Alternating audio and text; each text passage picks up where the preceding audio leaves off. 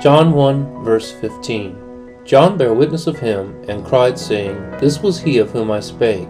He that cometh after me is preferred before me, for he was before me.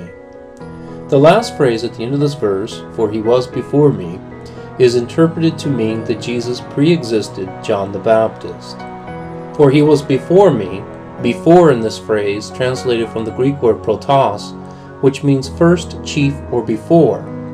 Although it is interpreted to be saying that Jesus pre existed John the Baptist, it could also mean that Jesus was chief over John the Baptist, or above him in rank.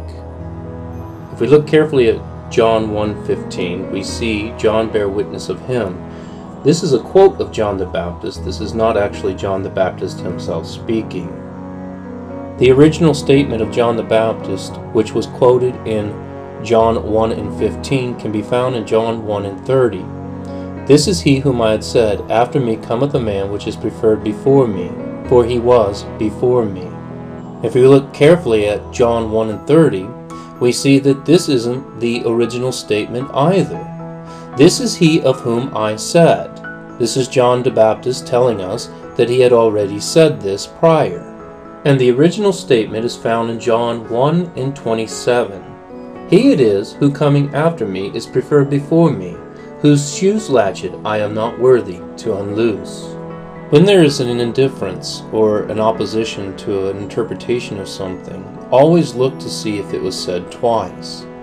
Having the statement of John the Baptist said twice, we can shed light upon his intent for the phrase, For he was before me. As we read the two verses, which are the same statement, we can see how they come together. John 1 and 27 He it is who coming after me is preferred before me. And this would be equal to John 1 and 30's version This is he whom I had said, After me cometh a man which is preferred before me. In the second part of both verses, which is the same statement, John 1:27, whose shoes latchet I am not worthy to unloose, which is compared to John 1 and 30, for he was before me.